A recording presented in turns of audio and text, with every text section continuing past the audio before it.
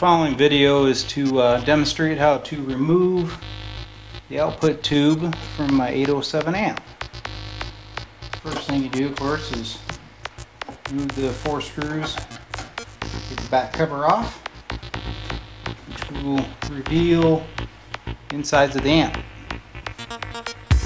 Alright, so first I'll show you uh, how easy it is to remove it. You can see your rectifier tube, your preamp tube here, and the 807 is back behind it. So to get to it, there's a plate cap on the front of the tube. You can see this little cap, okay? You gotta take that off, rock out the tube, and there you have it. 807's out. That's simple. Alright, so to reinstall the 807, you'll see it's got five pins here. One of them is offset okay? And you can look inside and you can see that offset on the socket itself.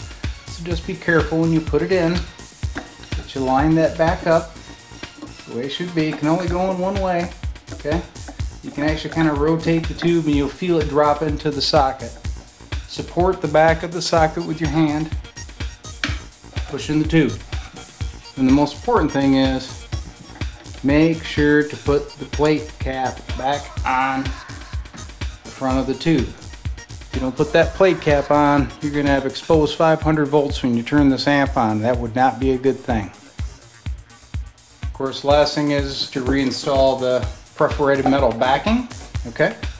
Another thing I want to point out about this amp is you'll see your two speaker jacks, your 4 or 8 ohm jack.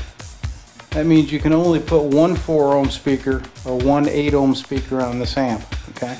Do not run this amp without having a speaker connected or you'll damage the output transformer. So here's the final product. Cool old amp, ready for you to enjoy.